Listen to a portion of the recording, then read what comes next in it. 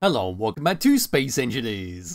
In today's video, we're looking at another large small block land vehicle that's designed for transporting fuel long distances, and this is called the ALZ TR Behemoth, which is this lovely thing sitting right behind me.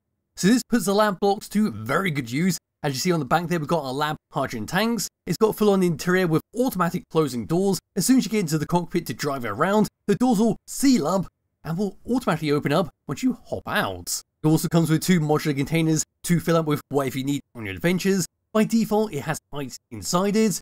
And then on top, we do have a Gatling turret, one of our compact Gatling turrets, to give you a little bit of defense while driving around. But anyway, press the F10, find this spawn menu. The TR Behemoth is 2,562 small blocks, using one hell of a lot of the DLC packs. We see up here is a transport rover designed for long range fuel transport. So go give this thing a thumbs up, run towards the very front, have a quick look around the outside. They'll go inside, have a look at that tiny interior, they'll go through the controls, drive around for a bit, and I believe that'll be that. So putting it like so and bring the slight background just a little bit. That'll have to do. And this is what we get for the very front of the ALZTR Behemoth. So right in the very middle, what we've got is a bunch of spotlights and heat vents to line up the area in front of you with even more lights above where our windows are sitting, where we're going to be peering outside from. We also got some grey steel blocks to make up the main body of this vehicle. And then all the way down to here what we've got are some short suspensions that have been clipped into each other to act as your bump guard. Usually people would say use truss blocks instead of this, but no, this is just a fine way of actually handling that. Anyway, down to here's a half hinge, so you can use this to connect up to, and we'll use it to refuel it up, refill up your batteries, and all of that without using a traditional connector. And of course we see the start of many wheels that go all the way around this thing. And onto the sides, here we go, so we've got a little inset light right in front of us. And across the here, here's your doorway to get inside. We've got some fake ladders that come all the way up to that door, which, like I said, will automatically open and close as we were to go into the cockpit, but we can, if you really want to, manually close it up if you're not planning to drive it. Over and up to this section, we then got some blue steel blocks that come all the way down onto an inset air vent.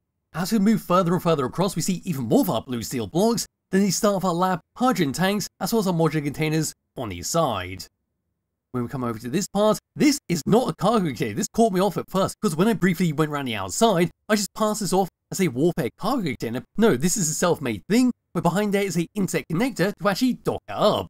Of a character coming all the way upwards, and opening it up. There we go, there's the connector, so you can go across to a piston system, connect upwards, and well, that is how you handle that.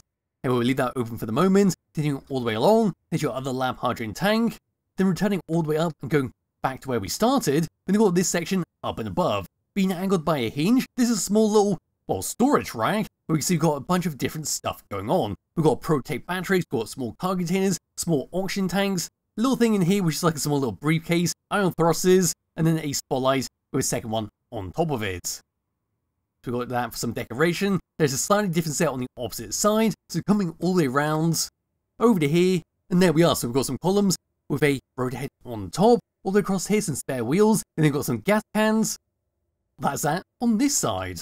Yes, we'll get a proper look on that side in just a moment. What I want to do is come back around towards the very back, because this is what we get. So right at the very back, what we've got is a ladder to be able to hop up, get on top of this thing, do maintenance work, and of course to check on your turrets. We also very clearly see the back of our lab hydrogen tanks in all of their glory, as well as the blue steel blocks which have been slightly angled for those weird low cargo racks on top. They've also got some interior lights, two black ones, which I presume is going to be your indicators, then two red ones, adding your brake lights. All the way down here, same theme as the front, we've got a bunch of suspensions clipped into each other. Then all the way down here, exactly the same as the front there, we've then got another half hinge to connect up to something if you need to, as well as two atmospheric thrusters to help boost this thing forwards. All the way up, onto the side, here we go. Yes, we see all of our wheels. We also got that weird fake container thing right in the middle once again. All the way across, there we go, another modular container down there. And there's another doorway get up inside. Moving all the way up, coming across the top here, there we are, so on top of the front we've got two windows pierced straight up. We've got a decorative conveyor cap, a rotating light, a spare wheel which has been clamped down by some barred windows, and an upside down piston head. And all the way across, pulling away slightly more, two exhaust blocks that were shooting out smoke, but I disabled that, just for this showcase. Beacon right behind there, one or two solar panels with a bunch of scaffolding blocks with the letter C on top of them, adding a small clamp. And across here, here's your Gatling turret for a bit of defense, another solar panel with the exact same setup, then there is your ladder at the very back to climb on top of it. Moving all the way down underneath it, here we go, just go and have a look at this as a whole. And there we are, so we clearly see our atmospheric thrusters at the back there, just boosting forwards. We then see our wheel suspensions having connected up, as well as a massive column that goes all the way along the middle. Then onto this section below are moisture containers, we then got, once again, like the side, access panels to open up and put stuff inside if we need to. There's also a camera there so you can get a good view of what's going on below you. I suppose I'll just grab hold of my character once again, scoot underneath here, and if I can, open up this, and there we are. So we just access that, there's the ice, and we just close up once we're done. As for that, that's pretty much it for the outside of the ALZTR Behemoth.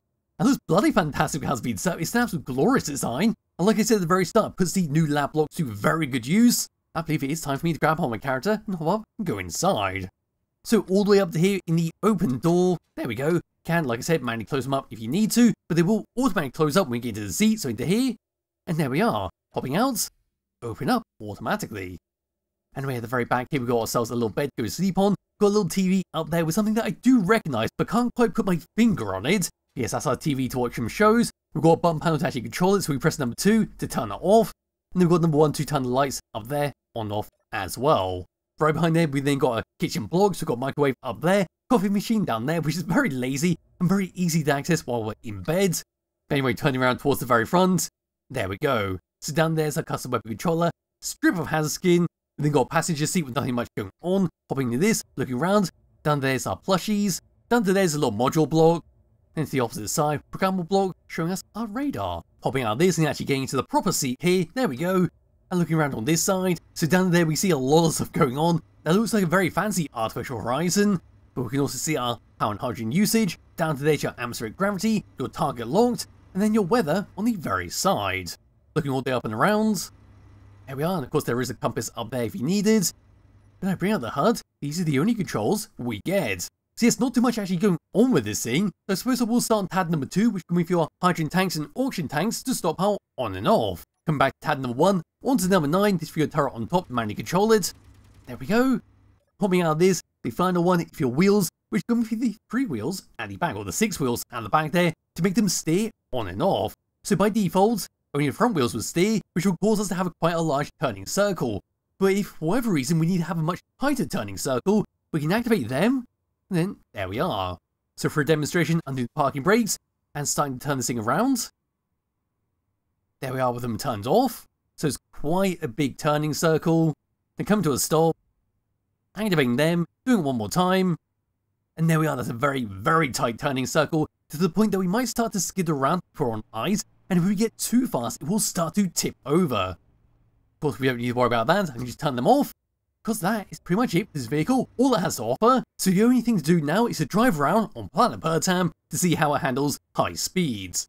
So moving forwards, here we go, and as you can see, it does take quite some time to get up to speed, but that's also being assisted by some atmospheric thrusters, so yes, it will take a little bit of time to go up to 100 meters per second, but you may not want to do that depending on which planet you're on, because it might very easily destroy the vehicle.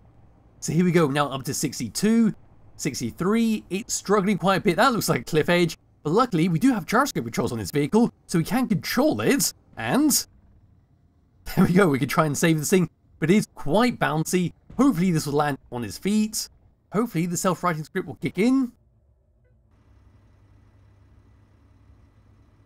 There we go, we're now self-righted, and now we just go off on our merry way. So yes, that's a very handy thing to have built into this thing very handy thing to have on a lot of vehicles, because sometimes it can be a bit too difficult to actually flip a vehicle over manually, and sometimes you can make things hell of a lot worse by, say, digging a deep hole, and while just having it sink all the way through, making it a lot more difficult to actually get it out. No, this thing seems to be very, very stable, and with block destruction turned off in this world, it has no issues whatsoever about landing on this roof, which is self-right itself, and just continue off on its venture it does seem to cap out about 63 meters per second, seems to be about as fast as it can go. If you strap on a few more thrusters, of course it can go much higher. But as stands, it's a fantastic vehicle, a fantastic speedy transport vehicle to use in your world. So be link to the description below to out the plan out yourself, highly recommend you do, and I'll be back with another video somewhere soon. Bye bye.